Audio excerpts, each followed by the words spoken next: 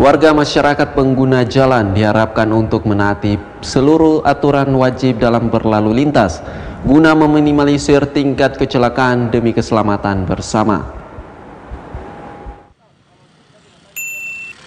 Seiring pelaksanaan operasi Zebra Mansinam tahun 2020 yang digelar Polda Papua Barat, warga masyarakat pun dihimbau untuk mentaati seluruh aturan wajib dalam berlalu lintas.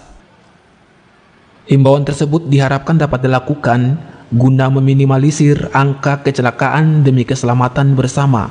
Teman-teman masyarakat dan adik-adikku sekalian, hari ini Senin tanggal 26 Oktober sampai dengan 8 November tahun 2020 tepatnya 14 hari. Polisi Satuan Lalu Lintas Indonesia melaksanakan operasi Zebra tahun 2020. Untuk itu, satu, lengkapi surat-surat Anda seperti SIM, STNK, dan pajak.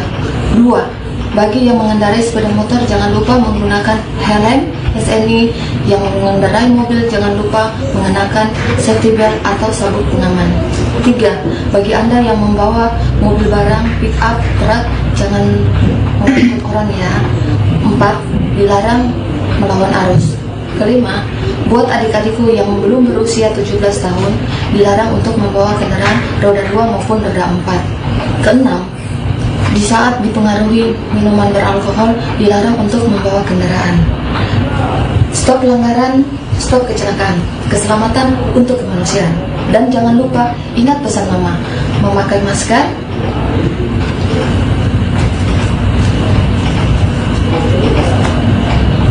mencuci tangan, dan menjaga jarak.